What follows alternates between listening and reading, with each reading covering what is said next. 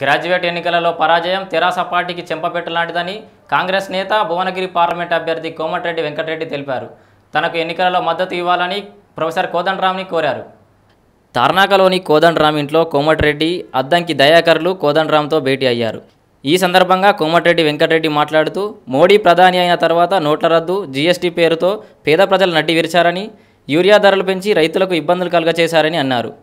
రాహుల్ గాంధీ ప్రధాని అవుతే పేద ప్రజల సంక్షేమ కోసం పనిచేస్తారన్నారు. తెలంగాణ అభివృద్ధికి నిధులు వస్తాయని ధీమా వ్యక్తం చేశారు.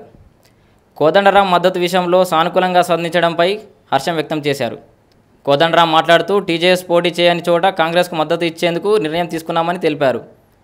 ఢిల్లీలో మార్పు జరిగితే అది తెలంగాణకు కూడా మార్పు అవుతుందని కేంద్రంలో ఏ ప్రభుత్వం ఉంటే తెలంగాణకు లాభం చేకూరుతుందో ప్రజలు ఆలోచించుకొని ఓటు వేయాలన్నారు. వ్యవసాయ విద్యారంగాల్లో మంచి మార్పుల కోసం కాంగ్రెస్ కట్టుబడి ఉందన్నారు. కాంగ్రెస్ గోల్పు కోసం తన మద్దతు ఉంటుందని అన్నారు. ప్రొఫెసర్ కోదండరామ్ గారికి ముందుగా ధన్యవాదాలు నమస్కారం తెలియజేసుకుంటూ తెలంగాణ సాధనలో ప్రొఫెసర్ జయశంకర్ ఆయన బాటలో అలాంటి వ్యక్తి కోదండరామ్ గారు. ఆయన సకల జనాన్ని ఏకం చేసి ప్రతి గ్రామ గ్రామాన్ని తిరుగుతూ తెలంగాణ ముందు వ్యక్తి. ఈరోజు పార్లమెంట్ సభ్య అభ్యర్థిగా కాంగ్రెస్ సభ్యులు పోటీ చేస్తున్న నాకు మద్దతు ఇవ్వాలని చెప్పి వారి ప్రోగ్రానికి రావడం జరిగింది. వారు కూడా మంచి సలహాలు ఇస్తూ తప్పకుండా మద్దతు ఇస్తామని చెప్పారు. నాకు ధన్యవాదాలు. నేను కూడా మంత్రి పదవికి రాజీనామా చేసిన తర్వాత వారితోనే ఆ ఉద్యమంలో కలిసి పనిచేయడం జరిగింది. నా ఒకటే కోరిక ఏంటంటే సకల జనులందరినీ కూడా తెలంగాణ ప్రజలు నిన్న వచ్చిన గ్రాడ్యుయేట్ కాన్ఫరెన్స్ టీచర్స్ కానీ అంత మేధావులు. ఆ ఎన్నికల్లో తీర్పు మీరు చూశారు. ఈవీఎం ఎన్నికల్లో గతంలో అసెంబ్లీ ఎన్నికల్లో చాలా అనుమానాలు ఉన్నాయి. దీంతో ప్రజలలో క్లియర్ అయిపోయింది. అది కూడా మేధావుల ఎన్నికలు ఇవి. అందుకని ప్రజలందరూ కూడా ఆలోచించి మీరు మీరే ఒక సోల్జర్స్ లాగా ఉండి గెలిపించాలని ముఖ్యంగా మీ అందరిని కూడా కోరుకుంటూ తెలంగాణ ప్రాంతం ఈరోజు కేసీఆర్ కేటీఆర్ సంబంధించిన ఎన్నికలు కాదు. దేశానికి సంబంధించిన ఎన్నికలు. మోడీ గారు రెండు వేల పద్నాలుగులో మొత్తం పేదవాళ్ళ జీవితాలు మారుస్తాను. సంవత్సరానికి రెండు కోట్ల ఉద్యోగాలు ఇస్తాను. ప్రతి పేదవాని అకౌంట్లో పదిహేను లక్షల రూపాయలు అకౌంట్లో జమ చేస్తాను. నల్ల డబ్బంతా విదేశాలకి తీసుకొచ్చాను చెప్పాడు. ఇవన్నీ చేయకపోగా పేదవాన్ని నడ్డి విడిచే కార్యక్రమాలు అందులో నోట్ల రద్దు కానీ జిఎస్టీ కానీ పెట్రోల్ గ్యాస్ ధరలు కానీ సిలిండర్ల ధర కానీ ఆఖరికి వ్యవసాయం చేసుకునే రైతులని ఆదుకోకపోగా డిఏపి లాంటి ధర నాలుగు వందల యాభై రెండు బస్తా ఇవాళ పదకొండు వందల ఎనభై రూపాయలు చేరుకుంది ఆయన పుణ్యమానికి ఈ పరిస్థితి నుంచి బయటపడాలి.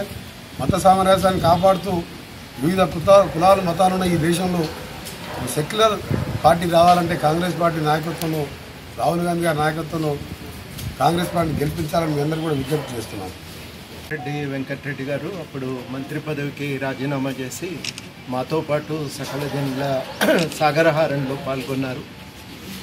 అప్పుడు ఆ, క్రమంలో చాలాసార్లు మాతో పాటే అరెస్ట్ అయ్యారు. అప్పుడు బాష్పవాయువు ప్రయోగం జరిగినప్పుడు కూడా మరి వారు కూడా ఇబ్బంది పడ్డారు. ఉద్యమంలో నడిచి వచ్చారు కాబట్టి అప్పటి నుంచి ఒక పరిచయం అనేది ఆ ఉద్యమ క్రమంలో ఏర్పడిన పరిచయమే కొనసాగుతూ ఉన్నది.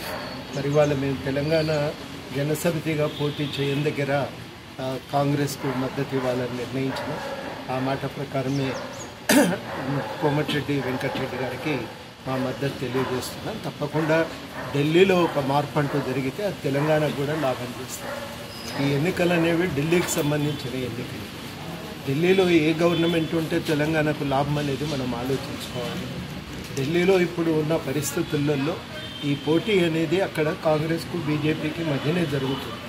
ఆ జరుగుతున్న దాంట్లో ఎవరు గెలిస్తే మనకు లాభం అవుతుంది ఎవరితో మేలు జరుగుతుంది అనేది మనం ఆలోచించుకోవాలి.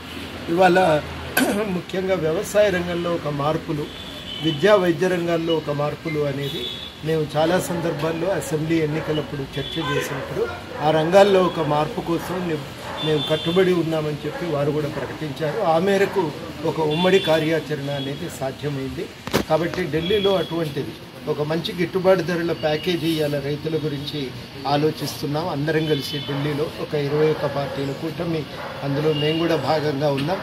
అదేవిధంగా ఢిల్లీలో ఒక ప్రజాస్వామ్య పునరుద్ధరణ రాజ్యాంగబద్ధమైన పాలన సాగాలని విద్యా వైద్య రంగాలకు ప్రభుత్వ కేటాయింపులు పెంచాలని ఇట్లాంటి అనేక విషయాల్లో ఒక ఏకాభిప్రాయం కుదిరింది. అట్టడుగు వర్గాల ప్రజలకు సంక్షేమాని కోసం నిధులు పోవాలి విద్యా ఉపాధి సౌకర్యాలు పెరగాలనే విషయాలపైన ఏకాభిప్రాయం కుదిరింది. ఈ ఈ అభిప్రాయాల మేరకే ఇవాళ మేము కాంగ్రెస్ పార్టీకి కూడా మద్దతు ఇస్తున్నాం. ఆ కార్యాచరణను సాధించుకోగలిగితే రాష్ట్ర ప్రజలకు మరింత మేలు జరుగుతుంది కాబట్టి కాంగ్రెస్కు మేము పోటీ చేయని దగ్గరల్లో కాంగ్రెస్కి మద్దతు ఇచ్చి ఓటు వేయాలని చెప్పి కోరుతాం